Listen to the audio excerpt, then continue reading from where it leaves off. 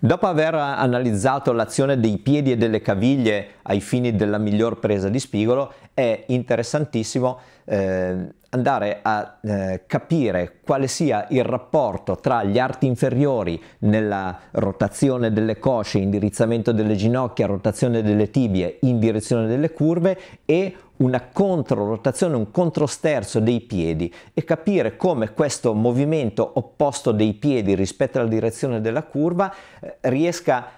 indurre delle tensioni muscolari e una presa degli sci sulla neve veramente efficaci, movimento questo e relazione tra le due parti che mm, non sono facili né da capire né da applicare. È molto importante osservare e sentire su se stessi che all'inclinazione dei piedi e allo spostamento laterale delle caviglie corrisponde una rotazione delle tibie del corpo in direzione dell'interno della curva. A questo punto, se osserviamo l'immagine con l'aiuto della grafica, notiamo che la direzione dei piedi e la direzione del corpo sono praticamente opposte, c'è come una controrotazione di una parte rispetto all'altra con i piedi che sono in controsterzo praticamente rispetto al senso della curva. Questo produce delle tensioni muscolari che danno la massima presenza sugli spigoli e la massima efficacia in termini di tenuta.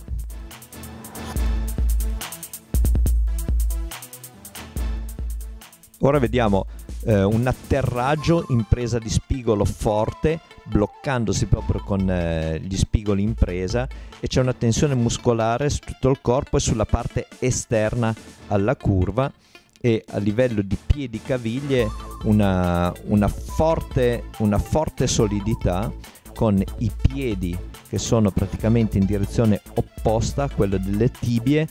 tibie che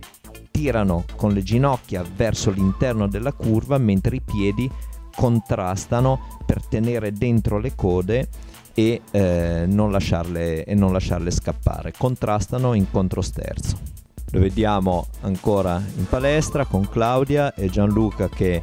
eh, crea una trazione e una rotazione nel senso della curva in modo da far ruotare il bacino e in modo che Claudia debba opporsi a questo eccesso di rotazione nel senso della curva. Vediamo ancora di più quanto il movimento di inclinazione dei piedi produca queste direzioni opposte tra piedi e corpo che sono quelle che, come si diceva, producono poi tensioni muscolari e presenza forte sugli spigoli. E adesso andiamo a vedere alla lavagna come la velocità d'ingresso in curva determina un intervento eh, più ritardato o più anticipato eh, di questa azione dei piedi. Più aumenta la velocità e più abbiamo bisogno di anticipare la presa di spigolo, quindi più entriamo veloci in una curva e più dobbiamo essere pronti e capaci di fare subito presa. Se arriviamo lenti,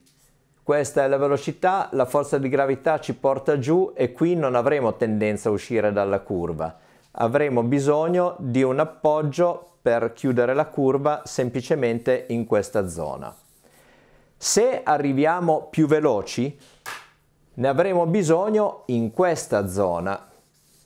quindi abbiamo dovuto anticipare la presa di spigolo. Arrivando ancora più veloci ne avremo bisogno qua e più siamo eh, bravi e, e, e nel, nel, gestire la velocità e più saremo, dovremo essere capaci di anticipare la nostra presa di spigolo e quel lavoro che vedevamo delle, dei piedi e delle caviglie in modo che già qui si scarichi energia sul terreno e ci sia una reazione che provoca deformazione dello sci e immissione sulla traiettoria senza pericolo poi di scarrocciare e di andare via in derapata.